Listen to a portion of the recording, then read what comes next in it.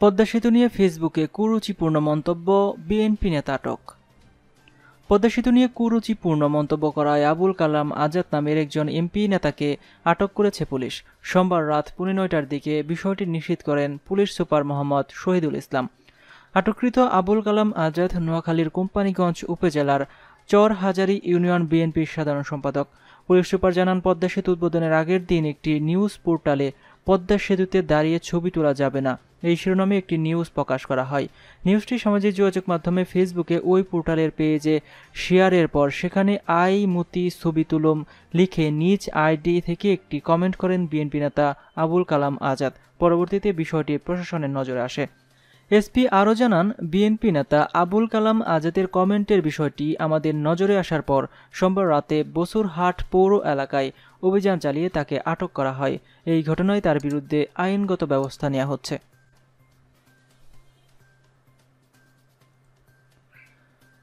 অন্যদিকে পানিতে ডুবে বেশি মৃত্যু, দেশে বন্যায় মৃত্যু বেড়ে ছিয়াশি জন, বলছে স্বাস্থ্য অধিদপ্তর। সারা দেশে বন্যা এবং বন্যায় চেষ্ট রোগে মৃত্যুর সংখ্যা বেড়ে ছিয়াশি জন দাঁড়িয়েছে। এর মধ্যে শুধু সিলেট বিভাগেই তিপ্পান্ন জন মারা গেছে। তাছাড়া ময়মনসিংহ বিভাগ আঠাশ জন, রংপুর বিভাগে পাঁচজন মারা গেছেন। গত সতেরোই মে থেকে আজ মঙ্গলবার পর্যন্ত তাদের মৃত্যু হয়েছে। বন্যা পরিস্থিতি নিয়ে স্বাস্থ্য অধিদপ্তরের হেলথ ইমার্জেন্সি অপারেশন সেন্টার এবং কন্ট্রোল রুম থেকে আজ বিকেলে গণমাধ্যমে পাঠানো সংবাদ বিজ্ঞপ্তিতে এই তথ্য জানানো হয়। এতে জানানো হয়, বন্যায় জেলা ভিত্তিক মৃত্যুতে শীর্ষে রয়েছে সুনামগঞ্জ। এই জেলায় ছাব্বিশ জনের মৃত্যু হয়েছে। সিলেট জেলায় মারা গেছেন আঠারো জন। নেত্রকোনা এবং জামালপুরে বন্যা এবং বন্যায় চিষ্ট রোগে আক্রান্ত হয়ে নয় জন করে আঠারো জনের মৃত্যু হয়েছে। তাছাড়া হবিগঞ্জে চারজন এবং মৌলভীবাজারে পাঁচ জনের মৃত্যু হয়েছে। ময়মনসিংহে মারা গেছেন পাঁচজন এছাড়া শেরপুর পাঁচজন কুড়িগ্রাম চারজন এবং লালমনিরহাটে একজনের মৃত্যু হয়েছে। এ পর্যন্ত বজ্রপাতে আক্রান্ত হয়েছেন পনেরো জন, যাদের মধ্যে চোদ্দ জনেরই মৃত্যু হয়েছে। সাপের দংশনের শিকার হয়েছেন দশজন তাদের মধ্যে দুজনের মৃত্যু হয়েছে। পানিতে ডুবিয়ে মৃত্যু হয়েছে একষট্টি জনের। তাছাড়া রবিবার পর্যন্ত বন্যাজনিত বিভিন্ন রোগ আক্রান্ত হয়েছিলেন পাঁচ হাজার আটশো নব্বই জন। আজ মঙ্গলবার তা বেড়ে সাত হাজার সাতশো একত্রিশ জনে দাঁড়িয়েছে।